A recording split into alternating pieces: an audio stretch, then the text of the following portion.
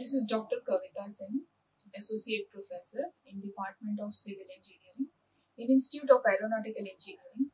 So today we'll be discussing about the definition and terminology on remote sensing in GIS. So we have studied the entire course the various lectures we have discussed about many things like we have discussed about photogrammetry, we have discussed about uh, remote sensing, we have discussed about the GIS, we have even discussed about the uh, database management system, what resource applications, various applications we have all studied. Now, which type of definitions, what type of definitions, and what is the terminology of that definitions we will be understanding and learning today. So, let us start with the topics. What are the questions? Which type of questions? Which type of definitions are uh, likely to be asked in the exams that we will be discussing. So let us start with the first uh, topic here, define photogrammetry. So usually this is from the first unit which we have studied about the photogrammetry. So when we have studied about the photogrammetry, if you remember, uh, what is the photogrammetry? It is the art and science and technology of without touching the object with any physical contact and which will give us the geographical informations, which will give us the uh, land information, which will give us the spatial informations, uh, so photogrammetry can be defined as the science of making reliable measurements of photographs. So it is a science of making the reliable measurements of the photograph by the photograph or digital photo imagery to locate features on or above the surface of the earth. So it will help. It is helpful to locate the features or on on a, or above the surface of the earth. It helps in the measurements. Measurements means here measurements means we can just measure the height of the building, whichever object if you want, uh, you can just measure the height of the building. Uh, you can measure the height of the tree. You can measure the height of any object, uh, whatever we require to measure based on the aerial photos. So we are going to receive the uh, aerial photos here. So the aerial photos will help us to just get the information about the uh, the the photos Now they explain the advantages of photogrammetry surveying. So terrain data and mapping features can be extracted from stereo images, models, little effort and at the low cost. So what is surveying? What is photogrammetry here? So what are the advantages here? We can just the advantages of photogrammetry here is we can just extract the stereo images. So, so what is a stereo image? So if you remember in the lectures which when we have discussed about the photogrammetry, stereo image is the image which have the overlapping areas. Okay, it has the overlapping area. So here 60% of the area will be overlapping, 60% of the area will be overlapping. So this 60% of the overlapping area will show us the 3, 3D illusion. Okay, it will show us the 3D illusion. So once you see the 3D illusion, so that 3D illusion itself, it is called as the this illusion is called as a stereo. So this the pair of photo, one pair and two pair of photo, it is called as the stereo photo. So it will give us the stereo vision, stereo vision of the models and it has a little comfort uh, effort at the low cost and large area mapping and digital terrain models can be accomplished uh, quicker and at the lower cost and when compared to the ground survey methods. Compared to the ground survey methods, the terrain models can be accomplished and quicker and at the lower cost and when it is compared to the ground survey methods. Now explain the various disadvantages of photogrammetry surveying. So what are the disadvantages here of photogrammetry surveying here is seasonal weather patterns that produce increased wind in increased wind and cloud cover may hamper the ability to perform the mission these are the disadvantages whenever the cloud cover is there, whenever the wind cover is there. So it will not allow the pilot to just take the photo of uh, such area and make be difficult to, to collect the measurements in the area with the dark shadows, dense vegetation, snow and water or overhanging features. So because it is having, it is photogrammetry is totally dependent on the sunlight. So whenever the sunlight is available, only uh, the photos can be taken of such places. So the problem here, what we are facing here is whenever the vegetation dense, uh, vegetation, snow and water or overhanging features are there, that time the collection of the photos are very difficult. Now explain the principles of photogrammetry. So what are the principles of photogrammetry here is, the principal point of each photograph is used to fixed stations and rays drawn to get points of intersection and very similar to those used in the plane table. So here uh, the principal, principal point is what is the principal point here. So if you remember, we have discussed in the previous lecture what is the principal point. Each aerial photo, suppose this is the aerial photo. This is the aerial photo.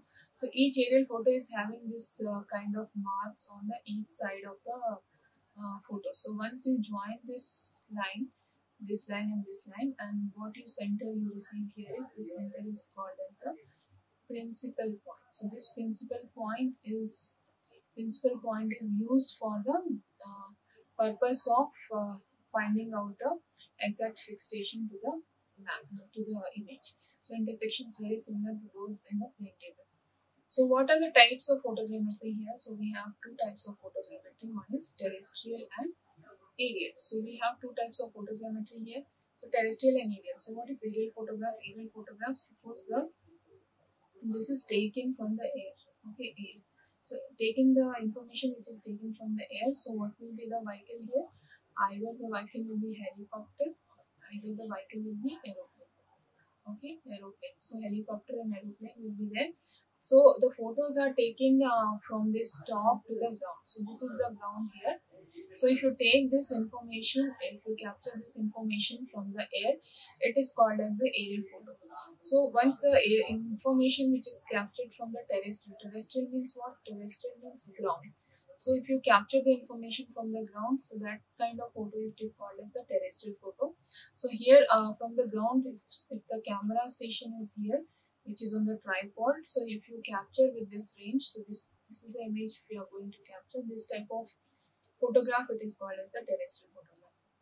Now terrest define terrestrial photograph. Now same thing you can see here what is terrestrial photographs. So photographs which are taken from the camera stations at the fixed position or near the ground is known as the terrestrial photographs. So fixed position on the ground. So this is the fixed position on the ground. From here the photo is captured. So your camera is not moving. The camera it is there on the same locations. From there the camera the information is captured. So that is called as terrestrial so the photographs are taken by the means of photo theodolite, uh, which is combination of the camera and the theodolite. This type of photographs are taken. Now, what are what is the what are the requirements of aerial camera? So the requirements of aerial camera here is fast lens, high speed, uh, sufficient shutter, high speed, uh, emulsion of the film, and a magazine to hold the large rolls of the film. So these are the requirements of the aerial photographs. It, it should have a fast lens, it should have a high speed sufficient shutter and high speed emulsion of the film the magazine should be hold to the large rolls of the film. Define the tilt displacement. So what is the tilt displacement here? So tilt means uh, the movement of the uh, suppose the camera is here so it, when the photo is it to be vertical if slight tilt is there if the photo should be taken here so the photo will be taken somewhat here so this is called as a tilt so this is the tilt of the photo which is defined in the difference between the distance in the image and the point on the tilted photograph. So from the isocenter, the distance of the image of the same point on the photograph from the isocenter if there had been no tilt. Now define exposure or air station. So what is exposure and air station? So exposure station is the exact exact position of the front nodal or front nodal point of the lens in the air at the instant of the exposure. So that is called as the exposure station. Now define flying. So what is the flying height here? So flying height is the elevation of the air station above the mean sea level.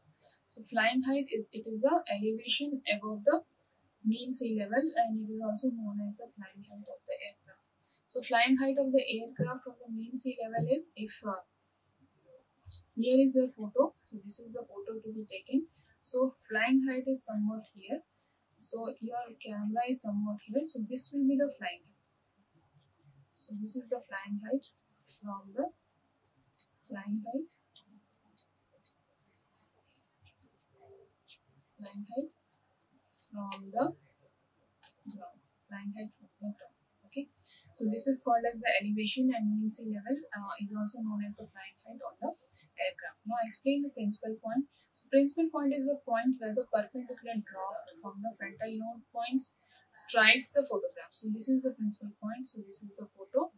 Uh, so you have this variation marks on all the sides. So once you join this fiducial marks, you will get a point here. So this point is called as a PP. So it is called as a principal point here in this aerial photo. Now what is meant by the focal length?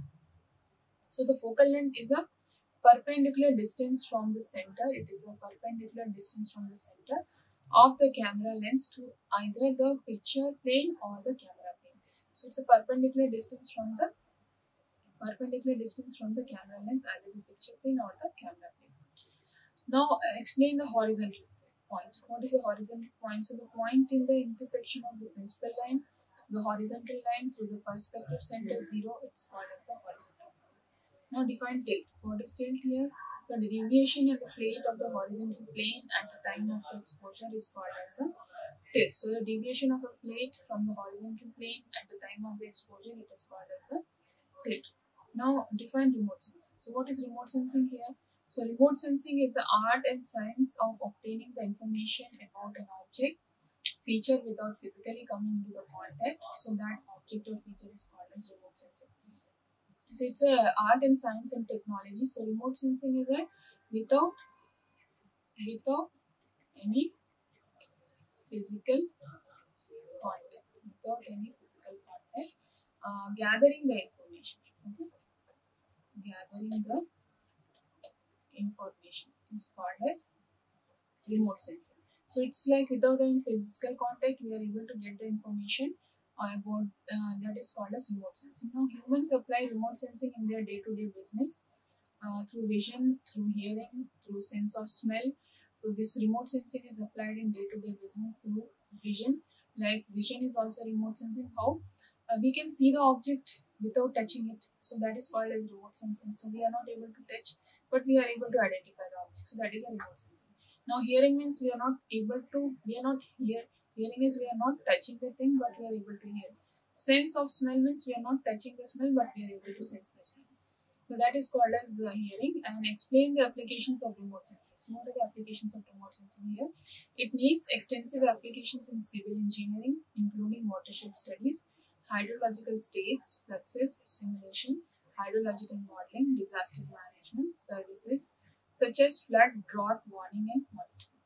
So this is how the applications of remote sensing works. So in the civil engineering, it, it will include the watershed studies, it will include the hydrological states, uh, fluxes, simulation, hydrological modeling, disaster management services such as flood, drought, warning and monitoring system. Now, what are the disadvantages of remote sensing here? So, we have few disadvantages also in remote sensing. The disadvantages of remote sensing here is the interpretation of imagery requires a certain skill level 9. So, the interpretation of imagery requires a certain skill level in mind. Needs cross verification with ground, survey data, data from multiple sources may create confusion. So first here disadvantage here is interpretation of imagery which will require a skilled person should be required to just interpret the data. Second thing is it needs the cross verification with the ground and field check or field visit is required to just cross check the information. Uh, survey the data is required to survey the data and data from multiple sources may create the for that.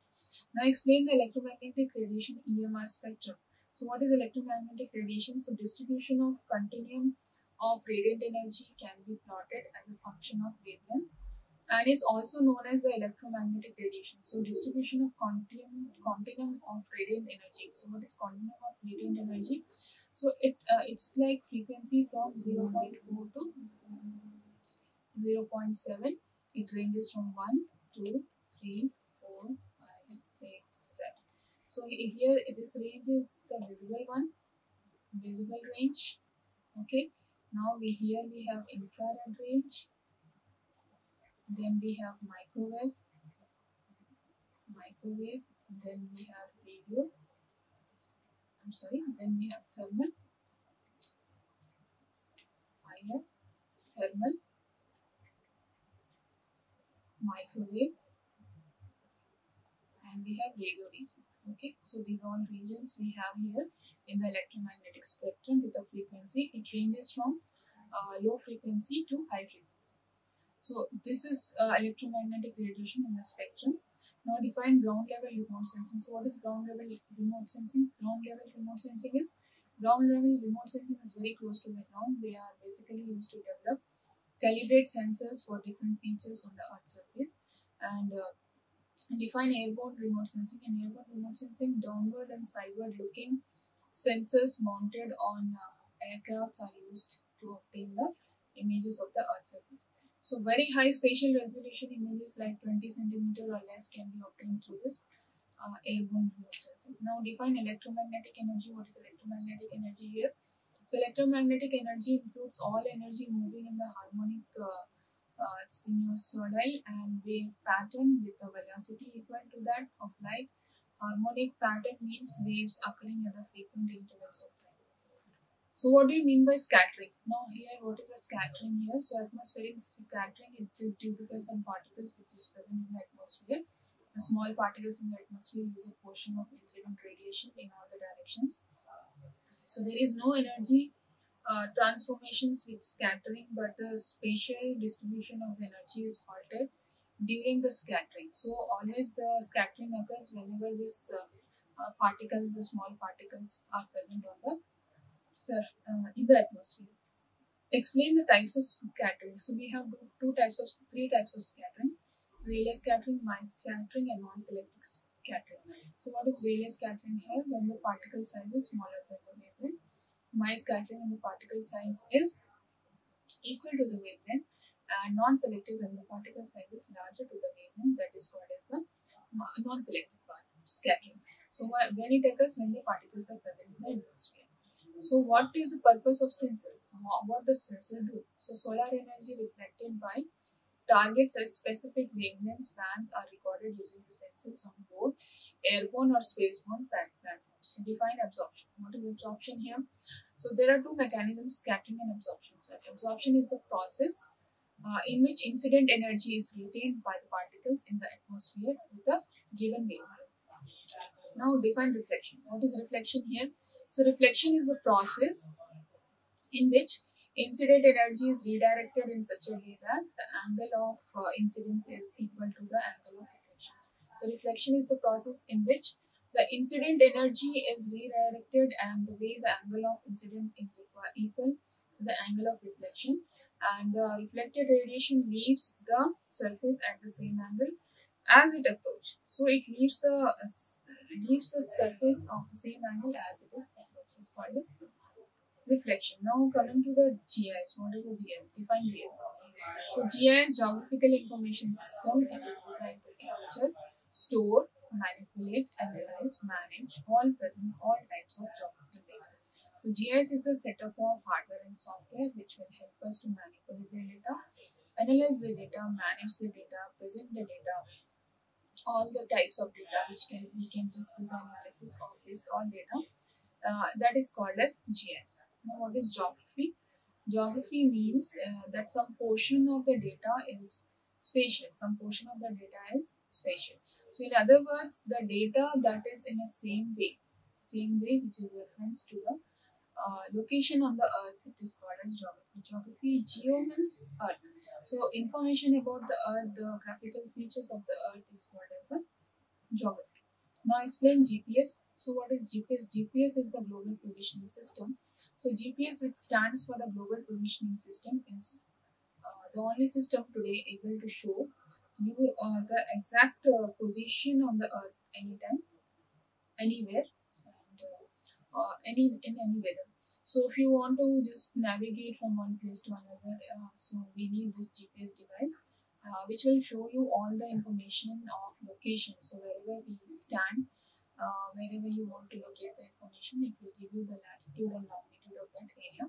It will give you the location of such areas, uh, which will provide you the information about area. So what do you understand by global positioning system? Uh, so GPS is uh, the way the gather the accurate uh, linear point locations uh, data originally it is devised in the 1970 by the Department of Defense and military purposes. And the current GPS consists of 28 satellites that orbit the Earth. Consists of uh, 28 satellites which will orbit the Earth, transmitting the navigational signals. So it will transmit the navigational signals to the ground. Now, what is GIS mapping? So GIS mapping, so the map uh, is of course a visual representation of uh, quantifiable data compared to the traditional tables, maps. GIS map is a dynamic and interactive in nature. So it, it is a dynamic and interactive in nature. So the visual representation of the data which you can see. So that is called as a map. So it is in like interpreting the information in the form of symbols and themes. So that all information is called as a map. So compared to traditional tables, GIS map is dynamic and interactive. So it can reveal the previously unseen features by highlighting them and show changes and these features over time based on the attributes. Explain the types of mapping in GIS. What are the different types of mapping in GIS? So mapping of GIS map layers, they allow for stacking the different types of maps on top of each other and the same screen. So it will help us to stack the different types on top of the each other and the same screen. So this way different layers can intersect, synergize, providing such more much more information so the user can easily toggle between the different layers without any confusing. What are the types of GIS data? The types of GIS data here is GIS data can be separated into categories. Spatially reference data, which is represented by vector and raster forms, and attribute tables, which is represented in the tabular format. So within the spatial reference data uh, group, the GIS data further classified into two different types. So what are the data types here? We have raster data, we have vector data. So many times we have studied. So the data is classified in two different types. One is the raster data, one is the vector data, spatial data, and non-spatial data. So explain the purpose of GPS in survey. The user meets a GPS receiver, locate position and point on the ground. So they receive uh, they receive the process of signals received from the satellites, compute the position, the latitude and longitude, elevation of a point with the reference datum. So that all uh, information it will be in a GPS survey. Define vector GIS. So what is vector GIS when we are dealing with point, line, and polygon? When we are dealing with the uh, digital data, or the digitized data that is called as a vector data. So a vector GIS works by storing the three types of geography so one is point, one is line, one is polygon.